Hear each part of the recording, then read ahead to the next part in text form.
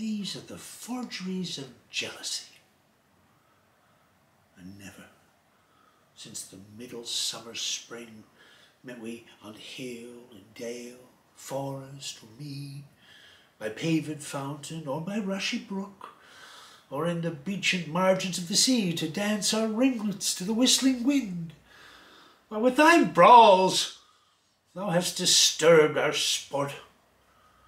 Therefore the winds, piping to us in vain, as in revenge, have sucked up from the sea contagious fogs, which falling in the land hath every pelting river made so proud that they have overborne their continents. The ox hath therefore stretched his yoke in vain, the ploughman lost his sweat, and the green corn hath rotted ere his youth attained a beard. The fold stands empty in the drowned field, and the crows are fatted with the murrion flock. The nine men's morris is filled up with mud, and the quaint mazes in the wanton green, for lack of tread, are undistinguishable. The human mortals want their winter cheer.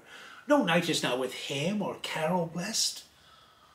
Therefore the moon, governess of floods, pale in her anger, washes all the air, that rheumatic diseases do abound. And through this distemperature we see the seasons alter.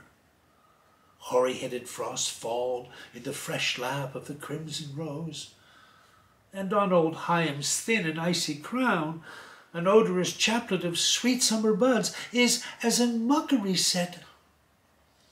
The spring, the summer, the childing autumn, angry winter change their wonted liveries, and the maze of world by their increase now knows not which is which.